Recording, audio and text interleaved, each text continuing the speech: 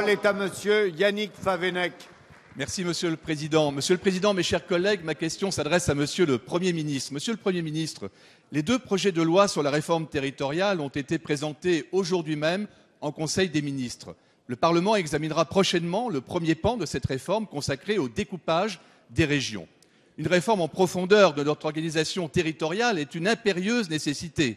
Mais pour être efficace, elle doit répondre à cinq critères fondamentaux. Permettre d'abord à la France de relever les défis d'une économie mondialisée dans un monde en pleine mutation et de retrouver une nouvelle croissance. Lutter aussi contre l'érosion de la démocratie locale en lui redonnant du sens et de la force. Intégrer également la nécessaire, réforme de l'État, corollaire indispensable à l'établissement d'une réforme territoriale véritablement décentralisatrice. Apporter ensuite des réponses différenciées adaptées aux spécificités économiques et sociales de nos territoires. Être guidé, enfin, par l'intérêt général et non par des considérations partisanes dont, à titre d'exemple, la région des Pays de la Loire est une victime collatérale. Monsieur le Premier ministre, votre réforme ne répond en fait à aucun de ces critères de fond.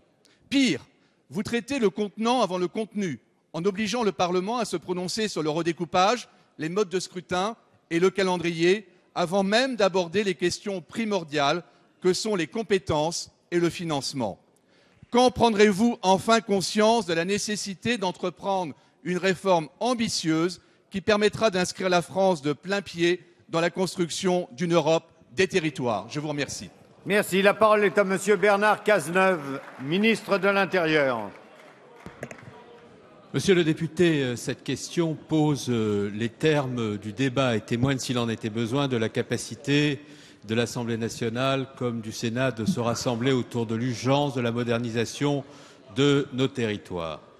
Le premier point sur lequel je voudrais insister, c'est sur la nécessité absolue de simplifier le paysage des collectivités territoriales. Comme vous l'avez vous-même souligné d'ailleurs dans votre question, il s'agit là d'une urgence. Nous voulons moins d'échelons et moins de collectivités locales dans, chaque échelon. Nous voulons par ailleurs améliorer la lisibilité du tissu local aujourd'hui. Il y a trop de compétences enchevêtrées, trop de complexité qui obèrent la lisibilité des institutions locales et perturbent, comme vous l'avez souligné dans votre question, l'exercice de la démocratie locale. Et nous voulons ensuite mobiliser les collectivités territoriales pour qu'elles soient plus en situation d'investir, d'investir dans les infrastructures dont notre pays a besoin pour se moderniser, pour accompagner ces filières d'excellence. C'est la raison précisément pour laquelle ce matin, deux euh, orientations ont été définies à travers les textes auxquels vous avez fait référence.